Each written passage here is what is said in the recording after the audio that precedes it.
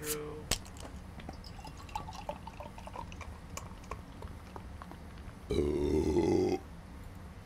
Hey, welcome to Beer 30. I'm Greg. This guy is playing with his phone. I'm sharing the link out that's letting people know that we are live now.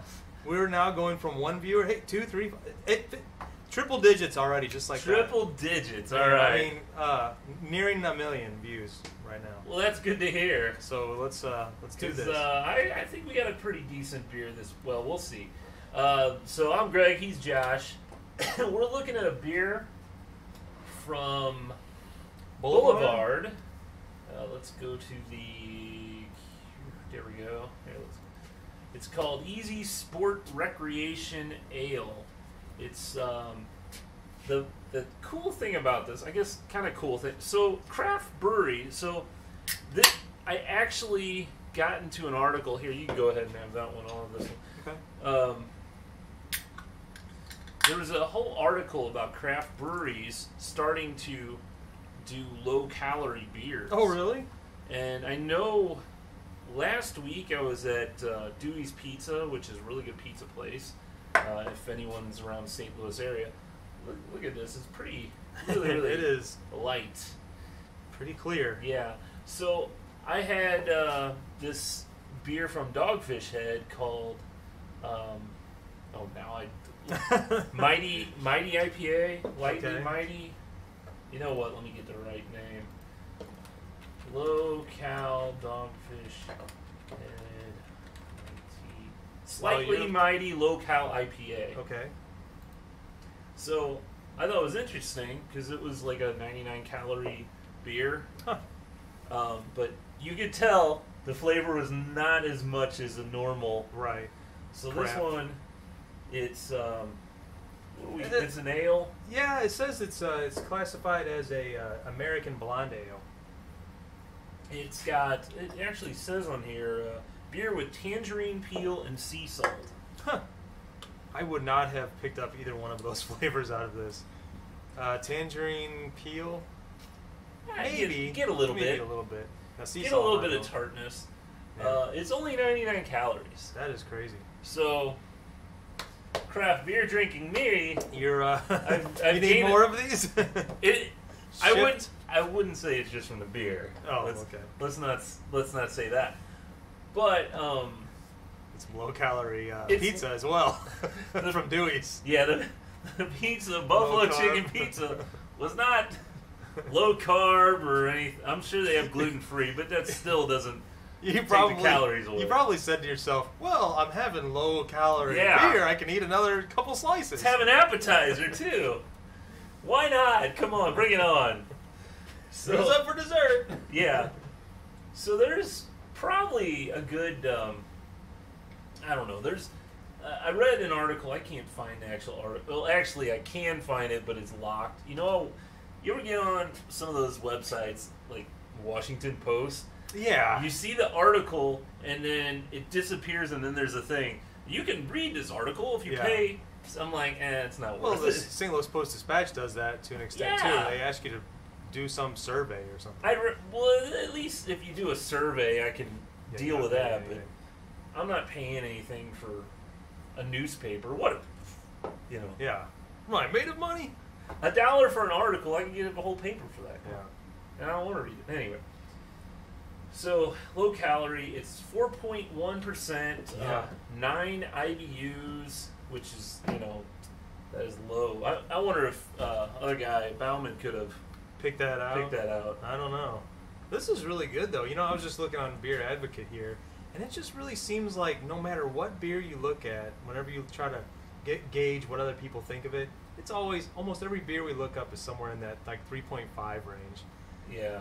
Well, and really a 3.5 on Beer Advocate is pretty decent It's classified as good. Yeah. because there, there, there's always the there's a bunch of oh this is all this isn't real beer and this isn't that Right. and then other people are like it's amazing you know for for low calorie it's got lots of flavor and um, for me I think I'm kind of uh, in that range I think it's a good low calorie beer only low calorie beer that I know of that I could think of is Mich Ultra.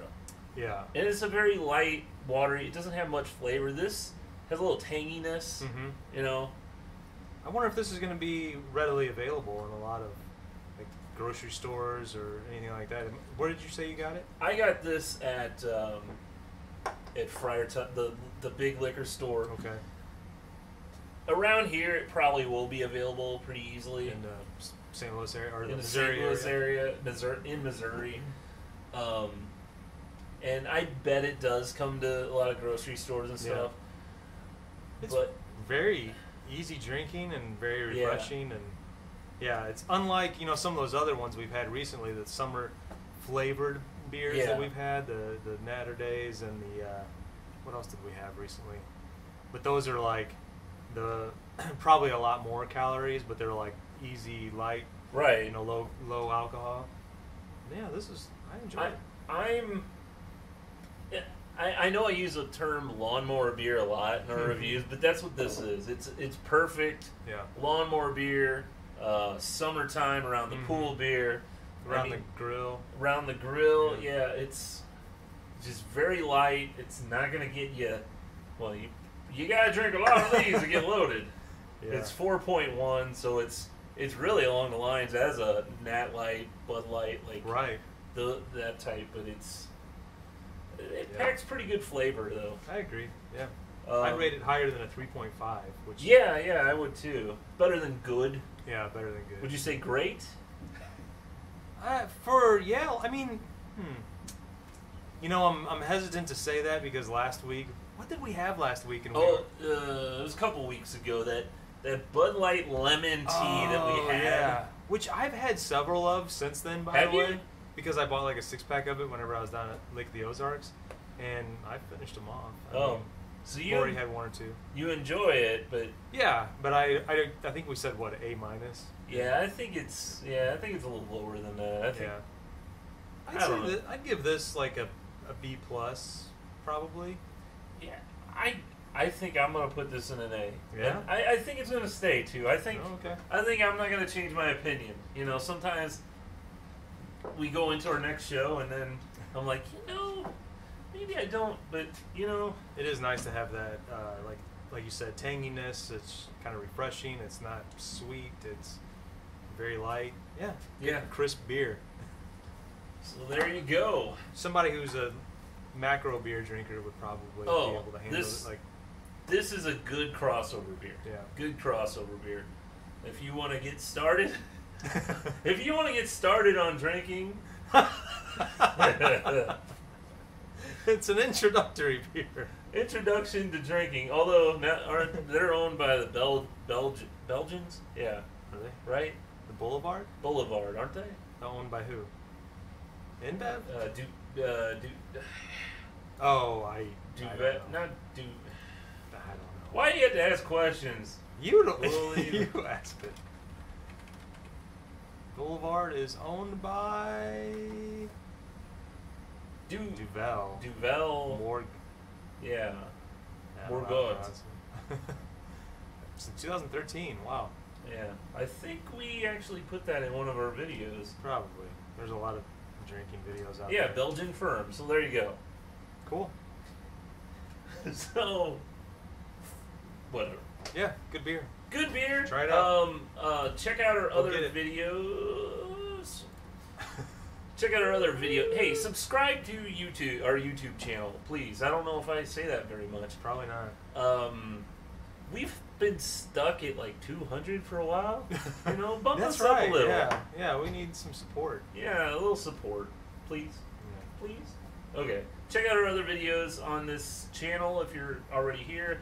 Uh, Beer30.tv. We will see you next time. See ya.